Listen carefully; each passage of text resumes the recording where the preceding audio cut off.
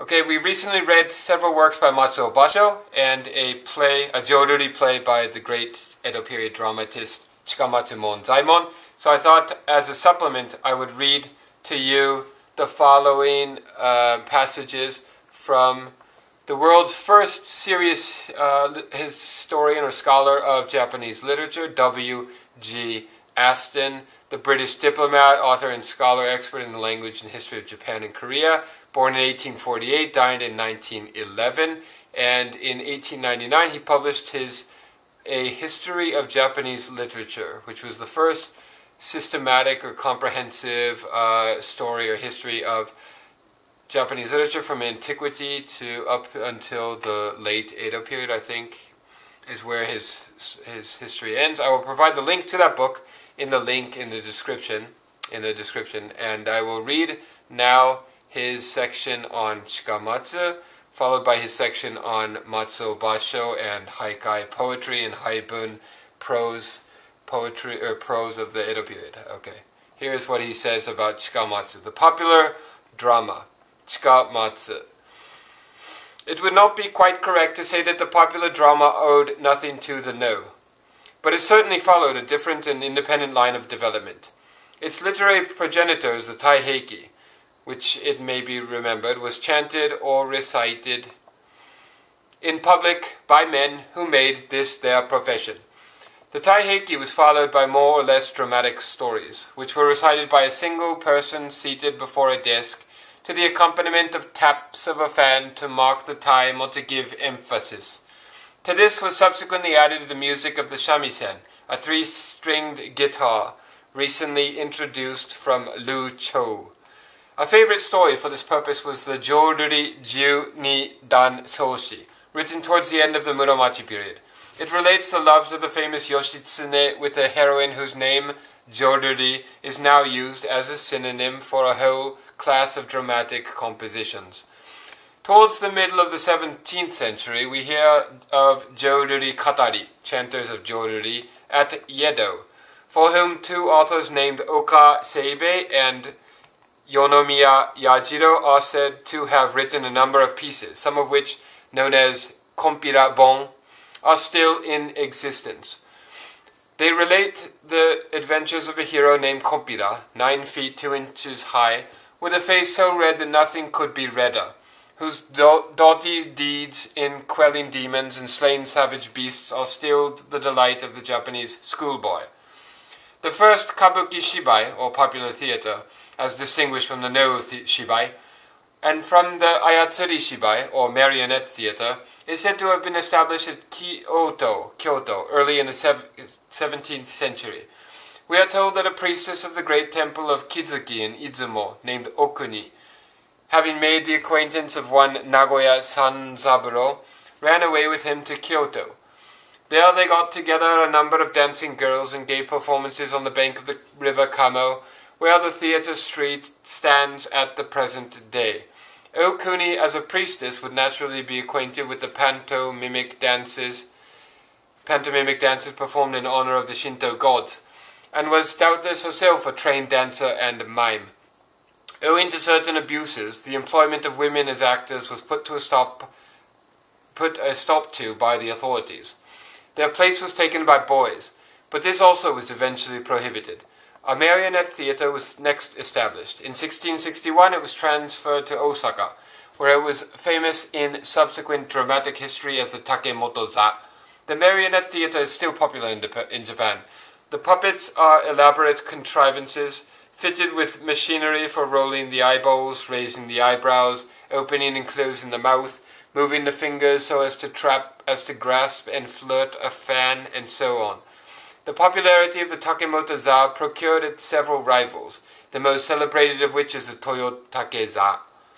The fame of the Takemoto-za was chiefly owing to the genius of Chikamatsu Monzaemon, who is unquestionably the most prominent figure in the history of the Japanese drama. The birthplace of this remarkable man has been as, as much disputed as that of Homer. The most probable statement is that he was a samurai of Hagi in Choshu where he was born in 1653. It is said that his boy, in his boyhood he became a priest. He himself tells us that he was a retainer of more than one noble house in Kyoto. For some reason, his services ceased and he became a ronin. The ronin, that is, a samurai who has been dismissed for misconduct, or whose indocile temper has found the severe discipline of the yashiki irksome beyond endurance, is a very familiar personage during the Edo period of Japanese history, not only in fiction but in real life. Countless deeds of desperate courage and many atrocious crimes are related of them, among which may be mentioned the well-known revenge of the 47 Ronins and their subsequent suicide, and the murderous attacks on the British legation in 1861 and 1862.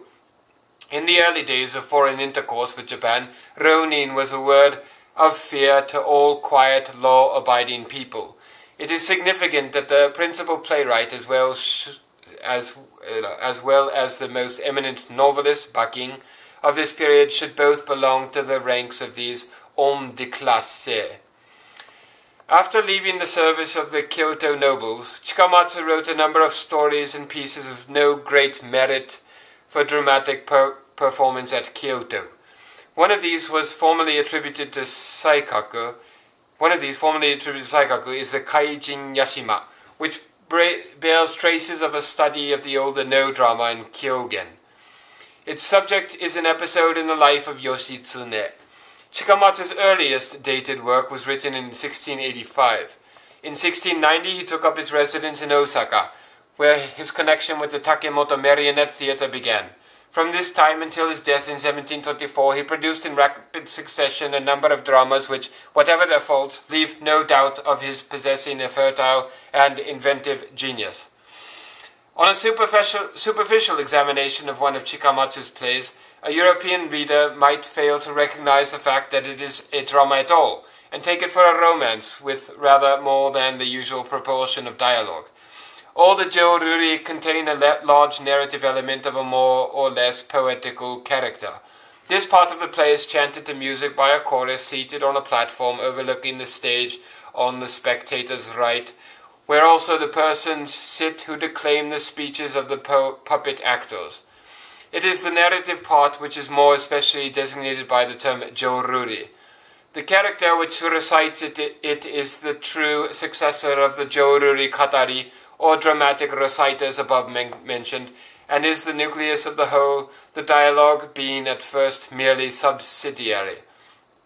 It not only supplies the thread of story to connect the scenes represented by the puppets on the stage, but aids the imagination of the audience by describing expressions of countenance, scenery, and much more than that the resources of a theatre, and especially of a marionette theatre, fail to convey.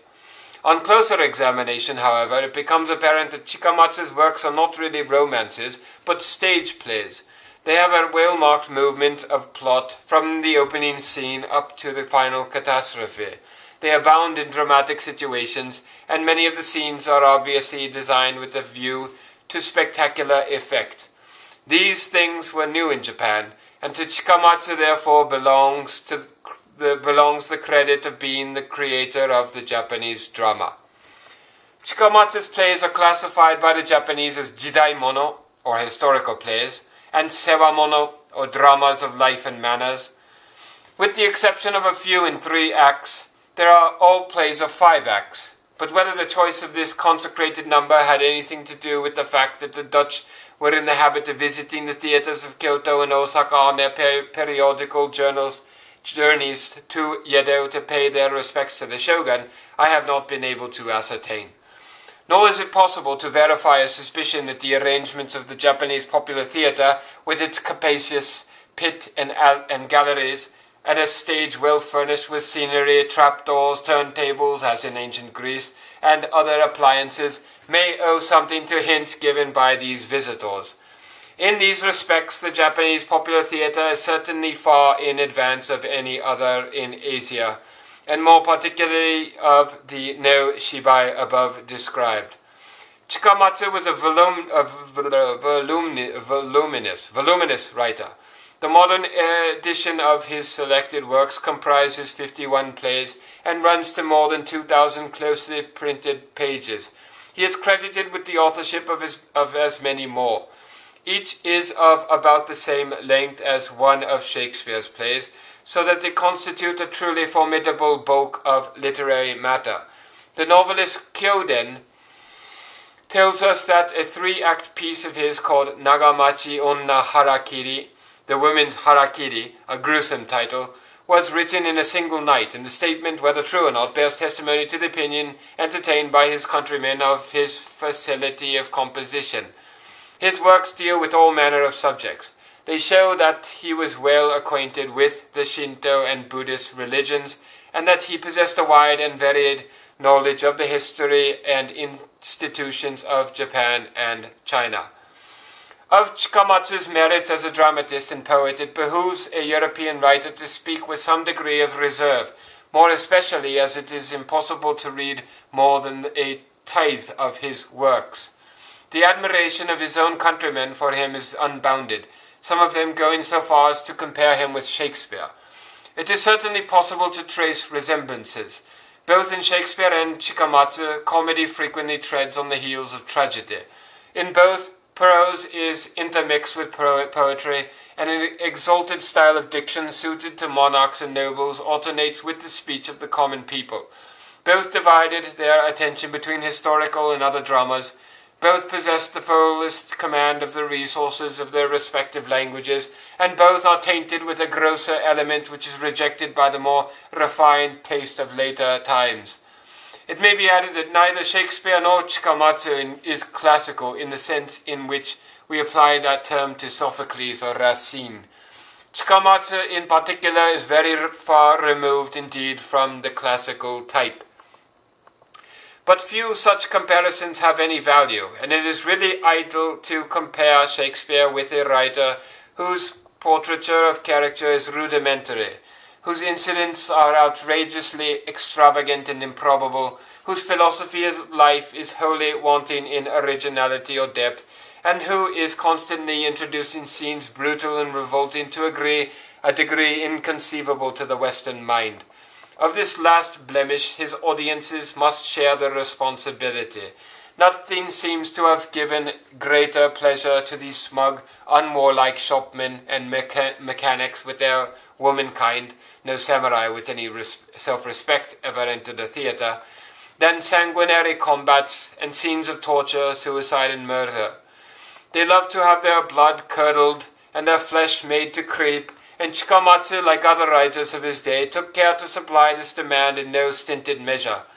Defects like these are only partially compensated for by a certain barbaric vigor and luxuriance which undoubtedly distinguishes his works. That such a writer should hold the position of the prince of Japanese dramatists only shows by what an imperfect standard this art is judged in Japan. It is difficult for a Western reader to understand the esteem in which Chikamatsu is held by his countrymen as a poet. In that part of his plays which is, ch- which is chanted to music by the chorus, we may, it is true, find meter, rhythmical cadence, fit language, and play of fancy, but all in a very modest degree. The met- metrical form adopted by him is the usual alternation of seven and five syllable phrases, which is even less substantial than our ordinary blank verse, or the irregular unrhymed lines favoured by Southey. Nor does he adhere strictly even to this. Longer or shorter lines are introduced from time to time for no other apparent reason than the author's convenience. The, rhythm- the rhythmical quality of his poetry is unmistakable. But for reasons already pointed out, the Japanese language does not lend itself to any but the simplest harmonies of this kind. A more serious blemish is the abundant use of pivot words and other meretricious ornaments, which are fatal to coherent sense and destructive to grammar. The general result is seldom such as to satisfy a European taste. It will nevertheless, I think, be found that Chikamatsu's poetry, with all its faults, occupies an important place in the history of Japanese literature. The writers of No had done something to extend the domain of the poetic art beyond the narrow limits prescribed by tradition. Chikamatsu continued their work and took possession of, if he failed to reclaim, large tracts of subject matter which had been neglected by his predecessors. The older poetry may be compared to a trim garden of a few yards square. Chikamatsu's Joruri resembles a wide clearing in a forest where the products of a rude agriculture are seen growing among tree stumps and jungle. Chikamatsu's most famous play is one which is entitled Kokusenya Kassen, 1715, or the Battles of Kokusenya. Kokusenya, called Kokshinsha by older Koxinga by older European writers on Japan, was a famous pirate, the son of a Chinese by a Japanese mother, who played a considerable part in the wars of the last days of the Ming dynasty in China. As this is considered the masterpiece of the greatest of Japanese dramatists, it seems desirable to give an analysis of it here. Act 1 The scene opens at the court of Nanking. The last of the Ming emperors is seen surrounded by his ministers. An envoy from the king of Tartary appears, bringing rich presents which are piled up in the courtyard. He makes a speech in which, on behalf of his master, he asks for Kwase, Kase, the, famous, the favorite concubine of the emperor, so that he may make her his queen and thus cement friendship between the two powers. The emperor and his court are much disturbed by this proposal, as Kase was just then expected to give birth to an heir to the Ming throne. A traitorous minister named Ri Toten urges its acceptance. General Go Sanke rushes forward and protests indignantly, indignantly ordering the Tartars king's presents to be taken away. The Tartar envoy replies with spirit and is about to fling out of the imperial presence when Li Toten strives to pacify him. To enforce his appeal, he digs out his own left eye with a dagger and hands it on an ivory slab to the envoy, who receives it with respect and accepts it in satisfaction for Go Sanke's insult to his sovereign and himself. The envoy takes his departure. The next scene is in the apartment of the emperor's younger sister. The emperor appears accompanied by 200 youthful inmates of his harem, half of whom bear branches of flowering plum and half of cherry. They draw up on each side of the stage. The emperor tells his sister of Ri Toten's noble self-sacrifice and again urges the latter's suit for the hand of the princess which had previously been rejected by her, suggesting that her answer should depend on the result of a battle between the plum and cherry squadrons of ladies. The princess agrees to this and puts herself at the head of the plum party, who, acting in collusion with the emperor, allow themselves to be defeated. Go Sanke now rushes in, clad in full armor, and with his lance drives off both squadrons. He remonstrates with the emperor for setting an example in the palace which, if followed by the people, would lead to disastrous civil tumults. Charges Ri Toten with treachery, and by an elaborate analysis of the Chinese written character for Ming, the name of the dynasty, proves that Li Toten's digging out his eye was merely a private signal to the Tartar envoy that the time was ripe for the execution of their treacherous schemes. The emperor scoffs at this learned sophistry and kicks Go Sanke on the forehead with his imperial foot. From all sides there now comes a sound of conches, drums, and battle shouts. The Tartars have arrived and surrounding and are surrounding the palace. The general rides into the courtyard. He tells the emperor that the Tartar king's love for Kase was all a pretense, and that his real object was the destruction of the unborn heir to the Ming throne. He avows Li Toten's treacherous complicity and announces to Go Sanke his intention of carrying off the emperor and Kase as prisoners and of making them serve as menials in his master's kitchen. Go Sanke's wife, Ryuka, now appears with an infant in her arms.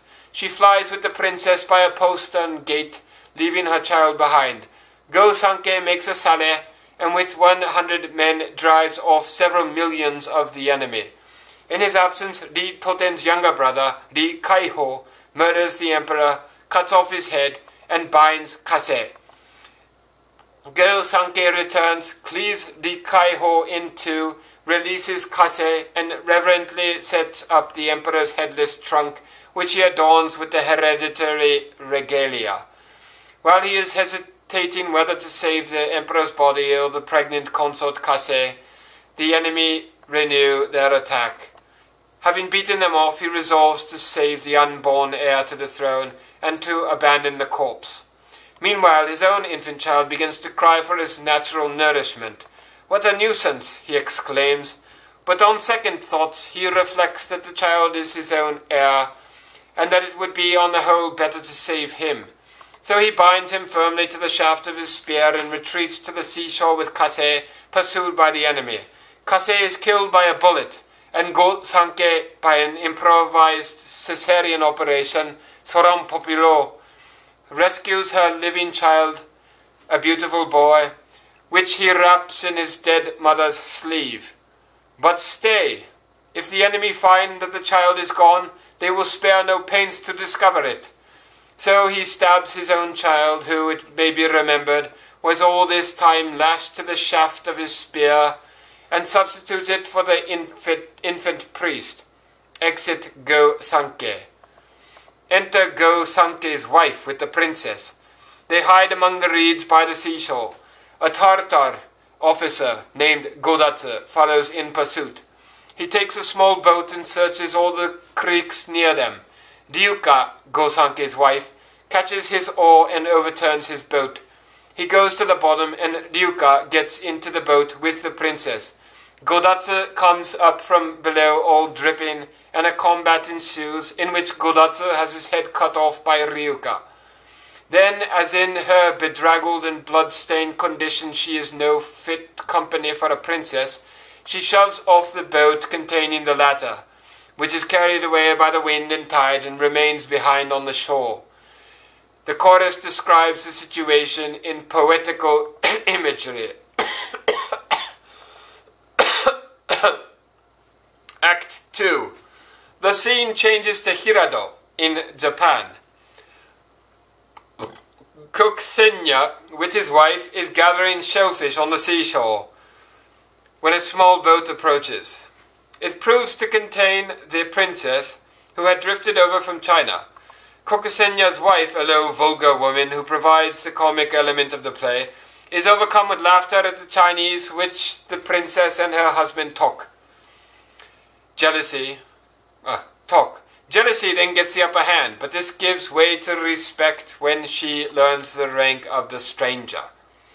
Kokusenya, who is the son of, the of a trusted minister of the Ming emperors, makes up his mind to restore that dynasty, and proceeds with his father and mother to China, leaving the princess in his wife's charge.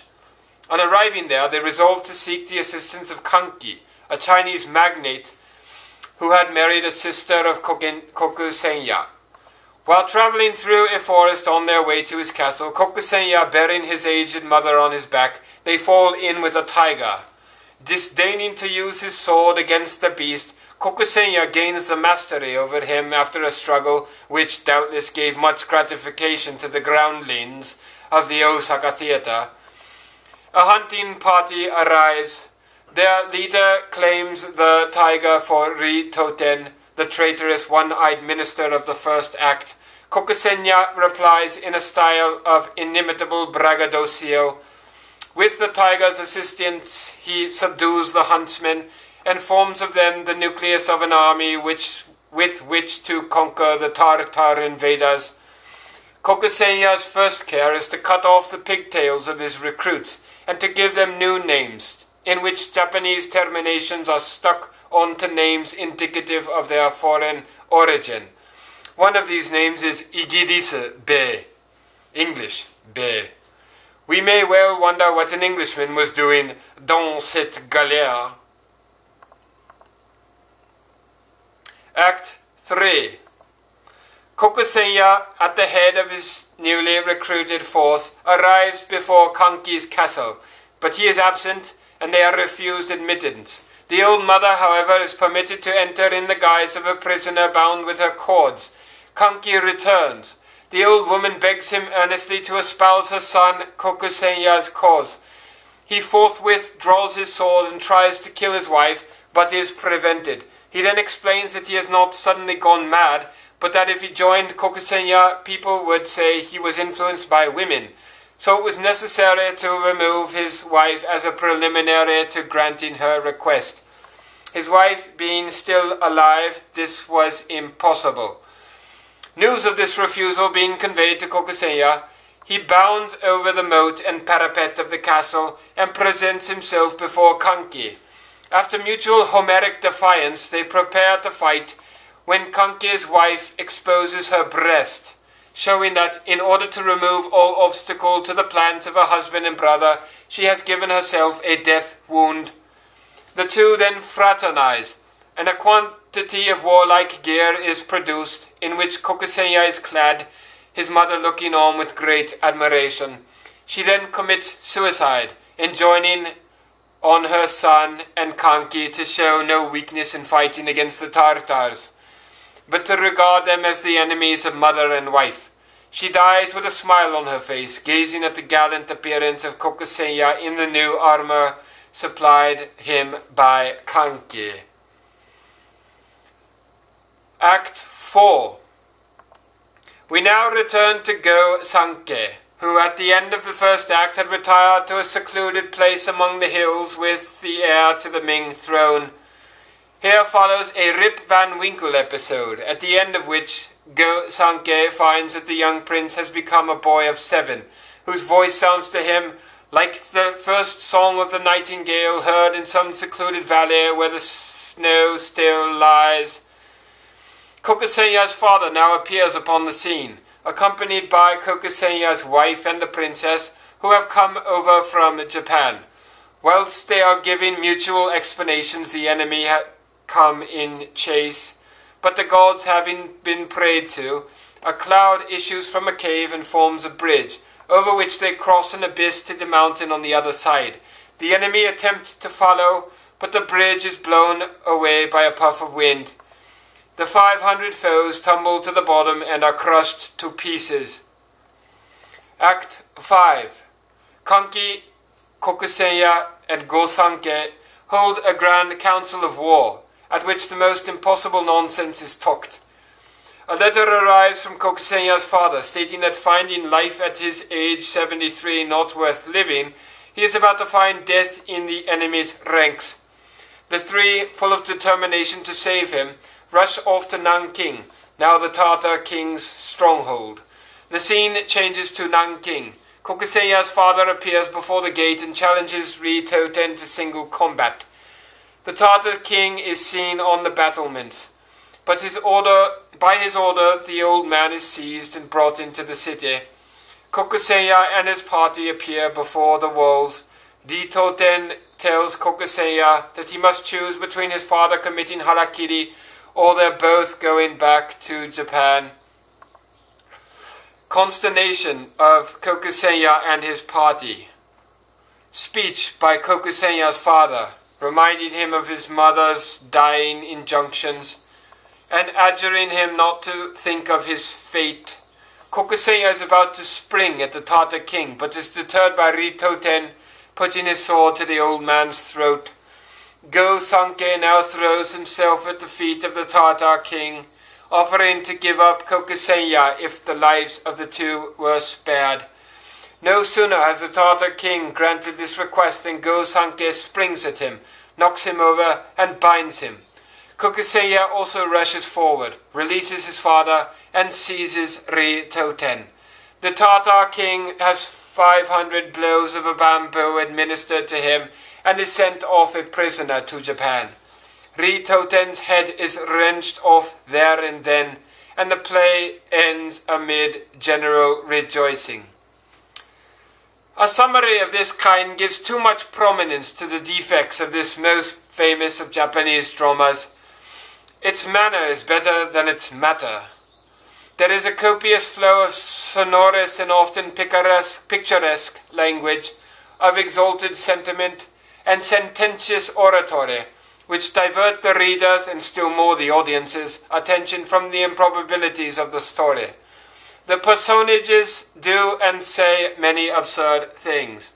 yet they speak and bear themselves in a manner not altogether unworthy of tragic heroes. It may be added that even in his maddest moods, Chikamatsu never neglects dramatic force of situation, and that he has a turn for impressive dialogue which ought not to be ignored. Dullness is not among the numerous faults of the Koku Senya Kassen. The European reader is not likely to relish the more poetical passages of this drama, with their pivot words and closely woven elusive phrases. Yet possibly there is more in them than we are willing to acknowledge. The Japanese find them the choicest part of the work, and they might not unreasonably deny to foreigners the right to sit in judgment upon the finer raptures of their national muse. As a poet, Chikamatsu may readily be allowed one merit. If Japan ever produces epic, dramatic, or long narrative poems of importance, he will have done much to prepare the way. The popularity of the Kokusenya Kassen with the audiences of Osaka was so great as to call for two continuations in the same style, and it is still one of the stock pieces of the Japanese theatre.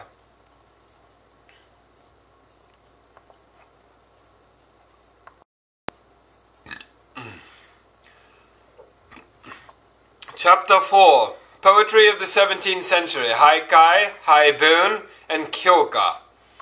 Haikai. It might naturally be, be supposed that in the tanka of 31 syllable po syllables poetry had reached syllables poetry had reached its extreme limit of brevity and conciseness. But a still further step remained to be taken in this direction. In the 16th century, a kind of poem known as haikai which consists of 17 syllables only, made its appearance. The haikai is a tanka minus the concluding four syllables. This is all incorrect, by the way, so don't take it seriously. That's my little note. Uh, and is, uh, and much of his commentary about Chikamatsu too is uh, incorrect, I must say. The haikai is a tanka minus the concluding 14 syllables and is made up of three phase, phrases of five, seven, and five syllables respectively, as in the following. Furuike ya, kawazu tobikomu, mizu no oto. It differs from tanka, however, in more than meter, being much less choice in diction and matter than the older kind of poetry. It admits words of Chinese derivation and colloquial expressions, and often deals with subjects which the more fastidious Tanka refuses to meddle with. The earliest professor of this accomplishment was Yamazaki Sokan, a Buddhist priest, 1445 to 1534. The verses of his which I have met with have mostly a comic character here is one. Even in the rain, come forth, O midnight moon, but first put on your hat. A halo is called in Japanese kasa, which also means a broad hat or umbrella. Another early haikai writer was Arakida Moritake. The following is from his poem, from his pen, Thought I the fallen flowers are returning to their branch, but lo, they were butterflies. Coming down to the Edo period, the first name of note in this departure of literature is that of Matsunaga Teitoku, 1562 to 1645. A well-known haikai of his is the following. For all men tis the seed of siesta, the autumn moon.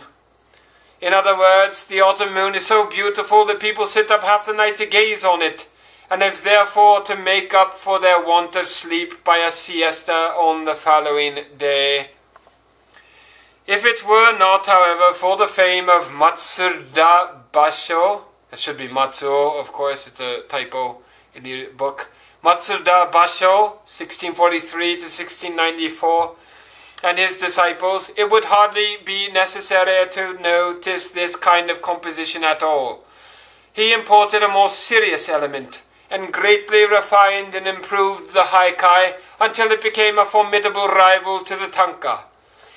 The latter had in these days become too exclusive for the popular taste. The Fujiwara family, who were its special patrons, practitioners, and critics, maintained the traditional canons of their art in all their rigidity, and the nation was glad of a new and more unconfined field for its poetical talent.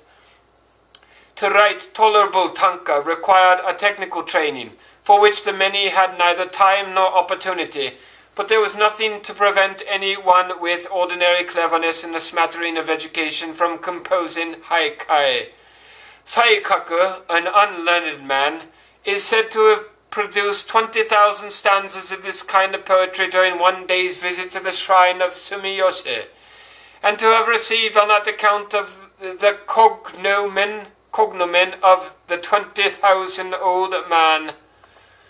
The story is an obvious exaggeration, but it shows what an easy thing haikai writing was thought to be.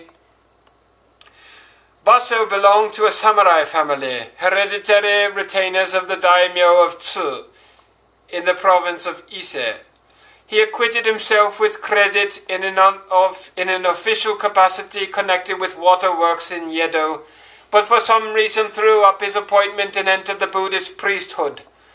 He built himself a cottage in the Fukagawa district of Yedo and planted a banana tree beside the window.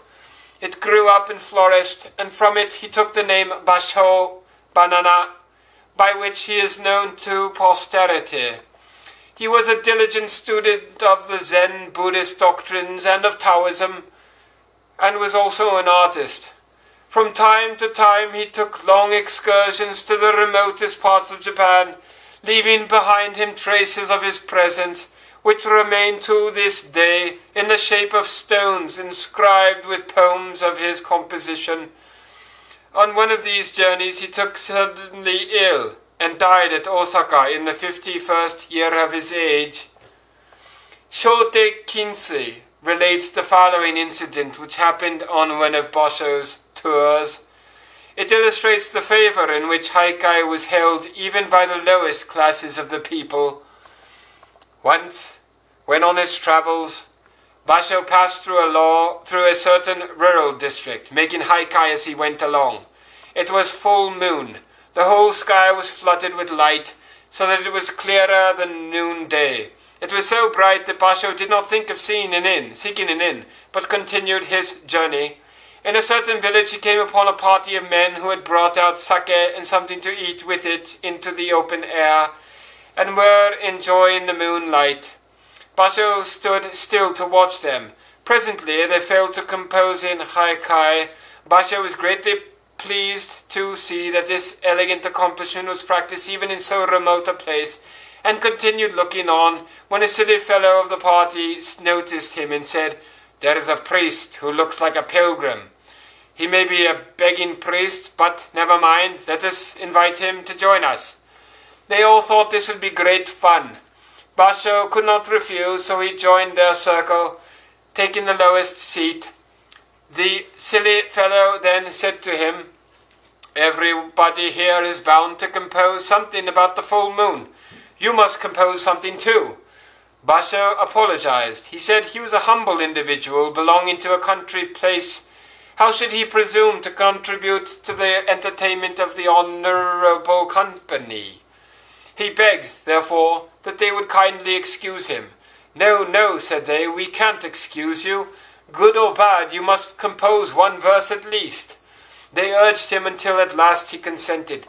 Basho smiled, folded his arms, and turning to the clerk of the party, said, Well, I will give you one. 'Twas the new moon. The new moon? What a fool the priest is, cried one. The poem should be about the full moon. Let him go on, said another. It will be all the more fun. So they gathered around and mocked and laughed at him. Basho paid no attention but went on. Twas the new moon. Since then I waited, and lo, tonight I have my reward. The whole party was amazed. They took their seats again and said, Sir, you can be no common priest to write such a remarkable verse. May we ask your name? Basho smilingly replied, My name is Basho, and I am traveling about on a pilgrimage for the sake of practicing the art of haikai. The rustics, in great excitement, apologized for their rudeness to an eminent man whose fragrant name was known to all the world. They sent for their friends who were interested in haikai and began their alfresco feast anew in his honor. It has been objected that haikai, even in the hands of an acknowledged master like Basho, is too narrow in its compass to have any value as literature. The Kangakusha Dazai Shundai calls it a tsutanaki mono, a stupid sort of thing, and Shote Kinsei admits that in the eyes of the superior man, this is doubtless so. Its popularity, however, is undeniable. The name of Basho was known to the very cowherds. He had ten disciples, and they in turn had pupils whose name is Legion.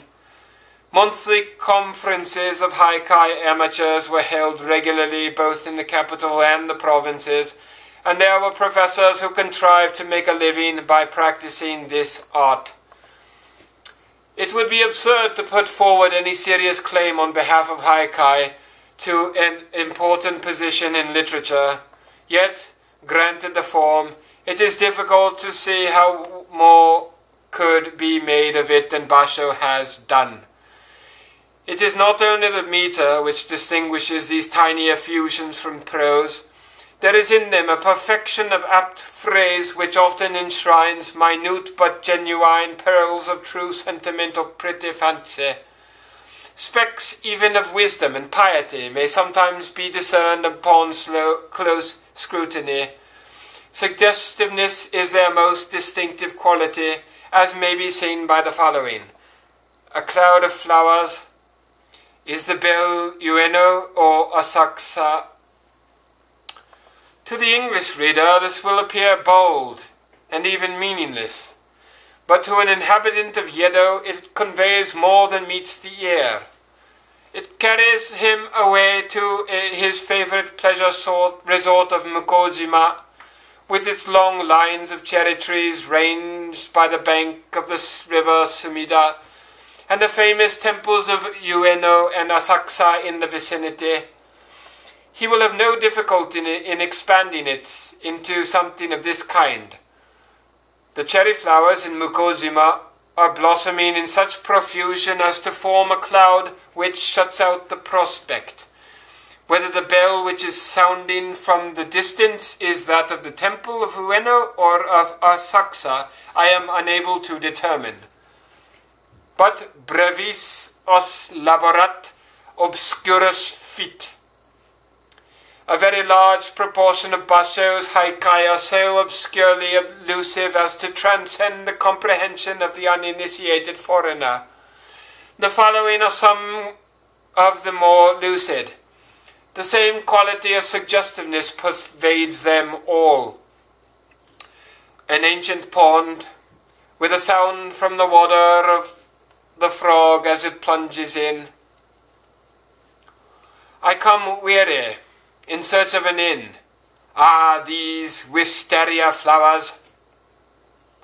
Ah, the waving lespedeza,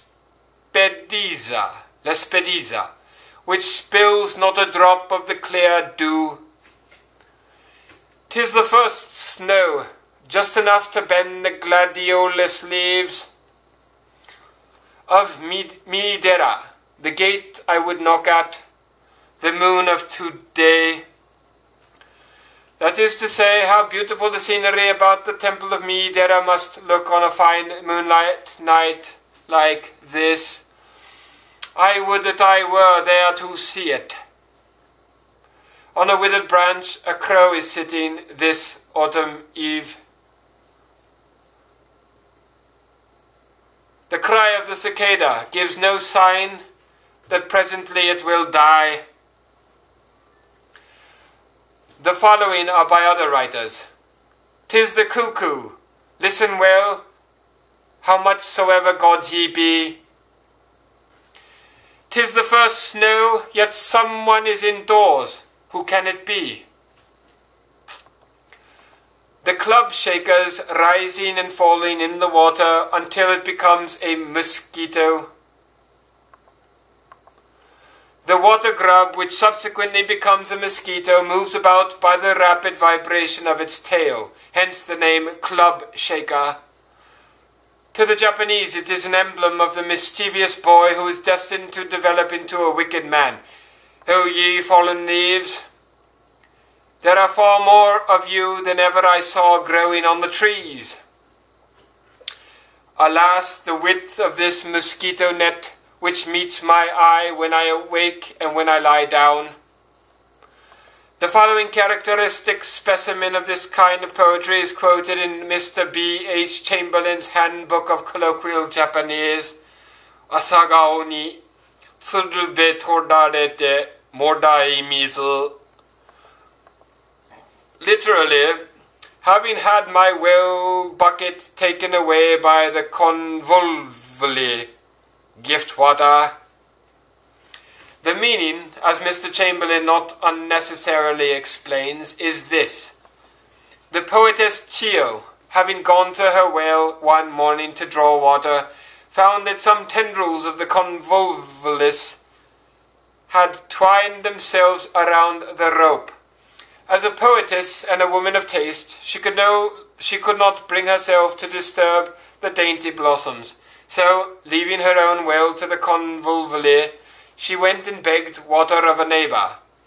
A pretty little vignette, vignette surely, and expressed in five words. Haibun. The haibun is a kind of prose composition which may be conveniently mentioned here as it is a sort of satellite of the haikai and aims at the same conciseness and suggestiveness. The most noted, noted writer of haibun is Yokoi Yayu a high official of Nagoya in Owari. He is the author of the much admired epilogue which follows. An earthen vessel, whether it be square or round, strives to adapt to its own form the thing which it contains. A bag does not insist on preserving its own shape, but conforms itself to that which is put into it. Full, it reaches above men's shoulders. Empty, it is folded up and hidden in the bosom how the cloth bag which knows the freedom of fullness and emptiness must laugh at the word world contained within the jar. O thou bag of moon and flowers, whose form is ever changing. In other words, how much better it is to yield our hearts to the manifold influences of external nature, like the moon and flowers, which are always changing their aspect with the weather and the season, than self concentrated to try to make everything conform to one's own narrow standard. And I don't think he mentions it, but I think this was a reference to the Lao Tzu. That's my little footnote for that. Okay, next section Kyoka. Lao Tzu. Hmm. Kyoka. Literally, mad poetry. Kyoka, of course, Kyoka. Literally mad poetry, madcap poetry, I think is Adam Kern's term for this. Kyoka is a comic and vulgar variety of tanka. There is here an absolute freedom both in respect to language and choice of subject. The kyoka must be funny, that is all. In this kind of poetry, of which an immense quantity was produced during the Edo period, the punning propensity of the Japanese has been allowed full scope. Shade, pr pronounced shade, reigns there supreme. Shade is one of those numerous Japanese words for which there is no exact English equivalent. It may be translated wit, but in order to express its full meaning, a spice of what is comprehended under the terms gaiety, esprit, playful fancy, stylishness must be added. Japanese wit, like that of other countries, has an element which defies analysis or classification, but the jeu de mots predominate. Shade infests not only the kyoka, but the drama and fiction to an extent well nigh intolerable to European tastes. Dr. Florenz, professor of philology in the Imperial University of Tokyo, has treated this subject with truly German conscientiousness, conscientiousness and erudition in a paper read before the German Asiatic Society of Japan in 1892. Following a native investigator named Tsuchiko Kaneshiro, he classifies Shade under two heads with divisions and subdivisions making in all 20 different kinds. Our old enemy, the pivot word, is here, also the pillow word, and several varieties of the ordinary pun with various fearfully complicated acrobatic contortions of speech which I shall not attempt to describe. Even the reader who has a competent knowledge of the language requires a special study to understand and appreciate them.